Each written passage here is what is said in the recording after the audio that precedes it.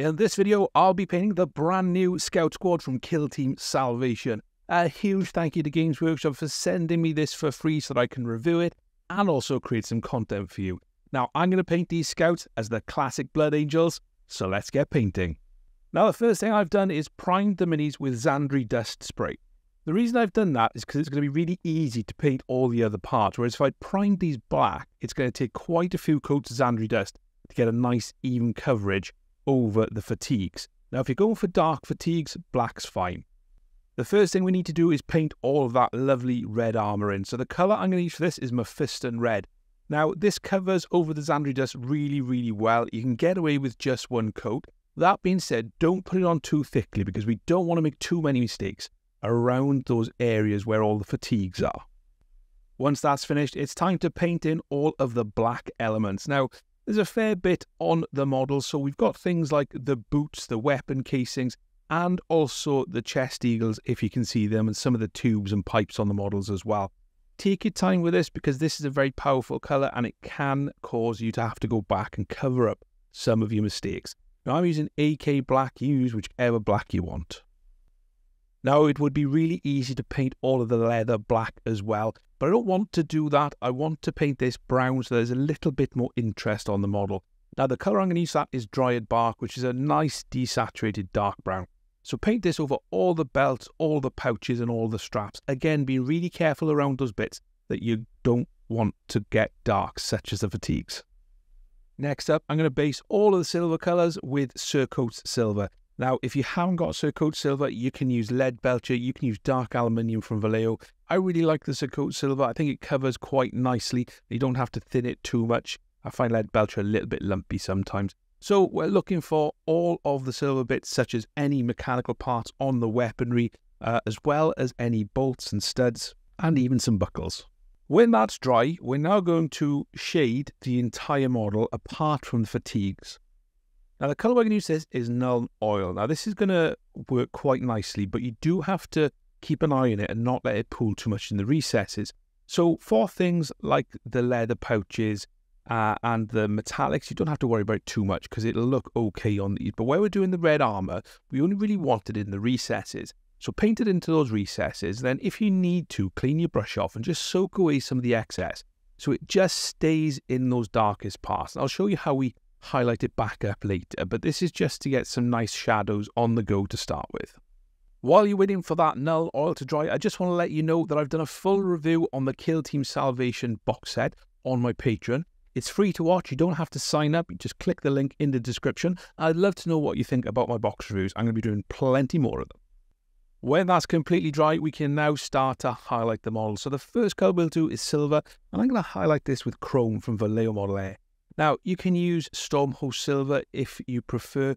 Any bright silver will work absolutely fine here. I just prefer this one. So all I'm doing is make sure I've got a little bit on my brush and I'm just dragging it along those parts of the model that I want to catch the most light. And this is a really nice, easy way of highlighting silver because it does give you a very nice crisp highlight as well. So if you need to blend it a little bit because it might be too bright, then you can use the Cerakote Silver underneath as well and just move it up uh, and into the, the brighter silver color and this will give you a nicer transition. We'll highlight all the leather with Gorthor Brown. Again, this is a nice, lighter, desaturated brown colour. And all we're going to do here is make sure we've got a little bit on our brush and just pull the brush along the edges of the model. Luckily, all the leather parts of the model do have quite sharp edges, so we can just move the brush along them and get nice, crisp highlights. If you want to add a little bit of texture and you can do so with some short, sharp lines, that might make things look nice as well. Now, I really do hope you're enjoying my content. If you are, why not subscribe by clicking that button there? Leave a like on the video so that others can find it. And if you've got any questions, let me know in the comments. So I'm going to highlight all of the black next. I'm going to do this a little bit different to how I'd normally do just sharp edge highlighting. Uh, we're going to do some area highlights to start with, just to ease the color transitions. So the first thing to do is take a very dark grey now, I'm using German grey from AK, but you can use Eshin grey if that's what you've got. If you haven't got anything like that, just mix some black and white paint together till you've got a really dark grey. All I'm doing is I'm focusing this on the areas that are going to catch the most light, taking into consideration the shape of the model. So for the Sergeant shoulder pads, this is going to be a round type highlight. Uh, and for things like the cloak on the sniper, we're just going to brush this all over those folds, which are going to be uh, catching the most light. For all the boots, we're going to highlight the majority of them. But again, just keep thinking about which bit are going to catch the most light. When it comes to things like the shoulder pads and the folds on the cloak, we do maybe want to blend them a little bit. So all I'm going to do is just paint the grey colour on and then just take the black colour in and paint that in the shadow and just mix them together on the model. Now this is a this is wet blending. It's not overly complicated and I'm not overly fussed about being super, super smooth in a crisp blend. All I want to do is just ease that transition a little bit. We'll start the sharper edge highlighting now, and the colour I'm going to use for that is Dawnstone, which is a nice bright grey colour in comparison to everything else we've used. So it's really important you haven't got much on your brush with this, and you want to drag it along the sharp shapes of the model. So the boots are the perfect example for this, where you've got lots of hard black leather. So just pull it along there, and you'll get a really nice crisp highlight. If it's a little bit too stark, you can always dull it down or just paint over it or mix in some of the dark grey with the Dawnstone just to make it slightly less uh, violent in terms of the uh, the way it looks. When it comes to things like the cloak for the sniper, you might want to mix this with the darker grey so it's not quite as stark as it looks just on, on the black highlights there. But essentially all we're doing is we're just dragging it along the shape of the model. For the shoulder pads on the Sergeant, again, we're going to paint small circles and we're just going to mix in some of the darker grey from underneath. And we're just going to go back and forth between the two until we've got something that looks like a nice blend. And we're just thinking about where the light is going to land. If you don't feel confident doing this, you don't have to do it. You can just edge highlight the shoulder pads like you've edge highlighted the rest of the armour. I'm just showing you a little bit of a different way. And if you don't want to try it on your model, try it on some spare parts. There's loads of spare parts in this kit that you can practice on and you can practice on any other part of a model as well. Okay, now it's time to highlight the red armour. We're going to do this in a very similar way to how we did the shoulder pads on the Sergeant, but don't worry, it's not quite going to be as in-depth as that. The main takeaway for this, and we're going to use Mephiston Red to start, is that we're going to highlight all of the red armour, leaving the dark colour in the recesses. When it comes to things like the knee pads, we just want to use the bottom half of them darker red all the bits that are going to catch the most light, we still want to paint those with the Mephiston red. So we're just going back over the bits we've already done. Now, if you use an oil wash or if you're really crisp with the shade, you might not have to do too much of this. But I was quite liberal because I was working through these fairly quickly to get them done for the video. So I'm just going to go back and highlight all of that with Mephiston red.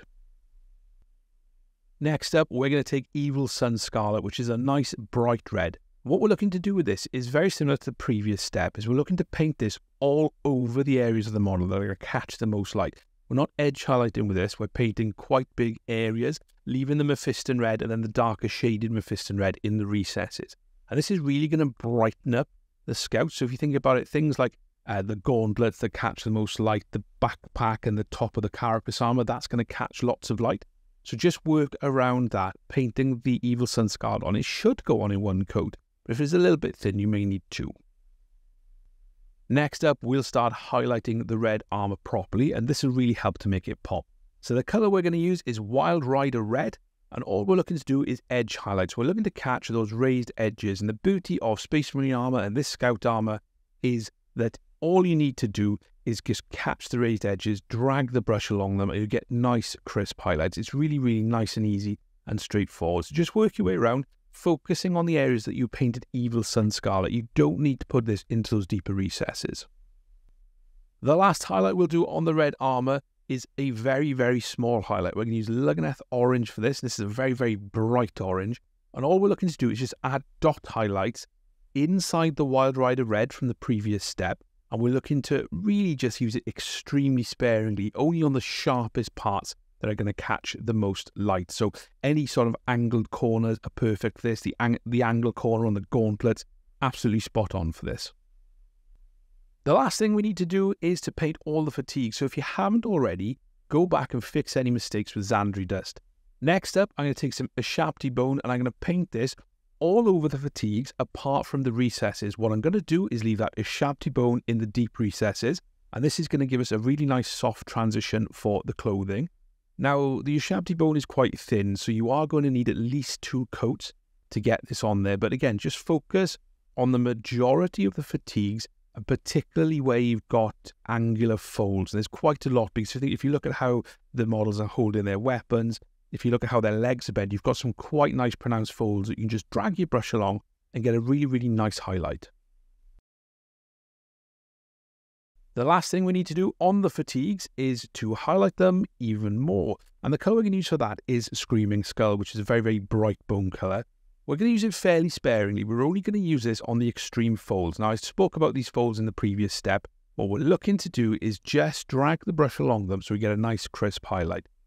And that'll give you some really nice soft fabric, which contrasts nicely with the much harder and sharper shapes that you've got on the armour.